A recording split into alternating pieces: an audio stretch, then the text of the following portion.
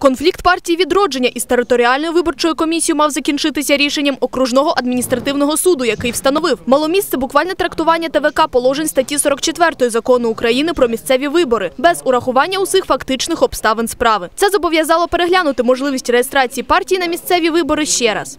Суд вважає за необхідне зобов'язати Дніпропетровську міську виборчу комісію повторно розглянути документи щодо реєстрації кандидатів в депутати Дніпропетровської міської ради, організації партії відродження та прийняти з цього приводу обґрунтоване рішення. Територіальна виборча комісія е, 30 числа, відмовляючи даній партійній організації, перевищила закон.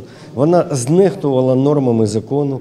Більше того, вона свавільно е, зміст е, відповідного виборчого документу перекрутила і безпідставно відмовила в реєстрації. Прийшовши на засідання 3 жовтня, представники партії відродження намагались дійти згоди із членами ТВК. Однак марно. Спроби дізнатися у членів виборчкому, чи будуть вони подавати заяву до апеляційного суду, також ні до чого не привели. Бо, як з'ясувалося, ніхто нічого не знає. Вы представители разных партий, но вы очень мудрые и грамотные люди, и серьезные юристы. Поэтому взвесьте все за и против перед тем, как принимать такие решения, которые могут потом накалить обстановку в обществе, а может быть кто-то сейчас и хочет такое, чтобы произошло на Днепропетровщине. Тим часом члени комісії почали голосувати за те, щоб вивести пана Крупського із залу засідань. Після чого провели жеребкування, затвердили списки черговості політичних партій у виборчих бюлетенях та початок їхнього друку з відсутністю у них партії відродження. Естественно, в субботу голосовав за это.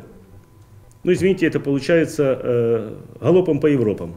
Быстренько сделать так, чтобы потом, даже в случае, если сегодня или завтра будет решение Апелляционной инстанции, апелляционного суда, которое вступает сразу в законную силу и обязано к немедленному исполнению.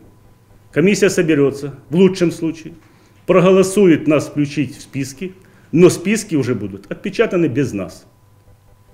Это провокация. Якщо вони до завтрашнього дня, е, до завтрашнього вечора, до 12 години ночі не подадуть апеляційну скаргу, дане рішення суду вступає негайно в законну силу. І з 5 числа ми будемо мати право оскаржити дане рішення у е, відповідності до Кодексу адміністративного суду в окружному суді. І я можу вас з впевненістю з.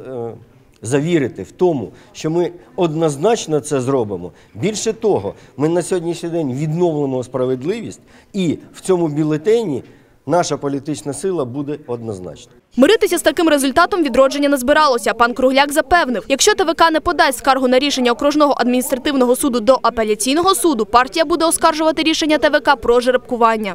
В районе 23 часов была подана апелляция на решение суда первой инстанции, в апелляционный суд, на решение суда, которое было в нашу пользу. Говорит еще раз об этом, что идет процесс затягивания принятия решений. Пізно ввечері 4 жовтня, але все ж встигли. ТВК подало скаргу на рішення окружного адміністративного суду, розповів Анатолій Крупський.